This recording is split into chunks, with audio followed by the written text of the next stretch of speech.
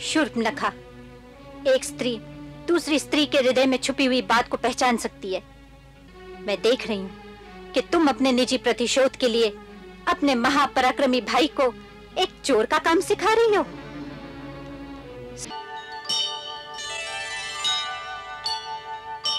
नीति कहती है कि अग्नि, रोग, सर्प और शत्रु को कभी तुच्छ नहीं समझना चाहिए। और फिर ये कोई साधारण मानव नहीं लगते, जिन्होंने खर और दूषण को पराजित किया। उनसे बैर मोल लेने से पहले अच्छी प्रकार सोच लेना चाहिए। आप राजा हैं। आप जो भी करेंगे, उसका परिणाम आपकी सारी प्रजा को भुगतना पड़ेगा।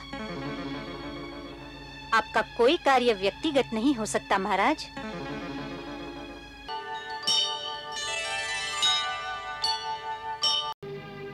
यदि तुमने उन्हें पहचान ही लिया है कि वे स्वयं भगवान हैं, तो तुम अकेले ही उनकी शरण में चले जाओ। मुक्ति के पथ पर प्राणी अकेला ही जाता है। ये अवसर तो किसी विरले को ही मिलता है। वत्स तुम धर्म का मार्ग अपनाओ।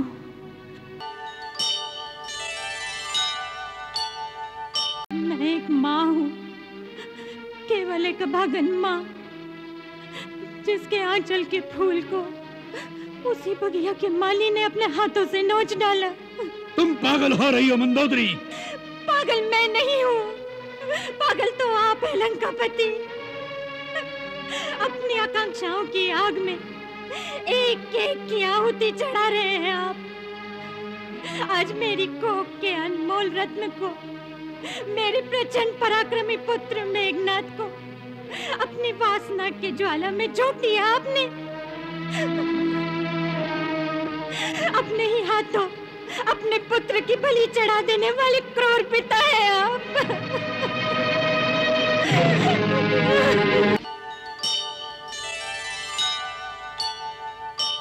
शूर्पनखा एक स्त्री दूसरी स्त्री के हृदय में छुपी हुई बात को पहचान सकती है।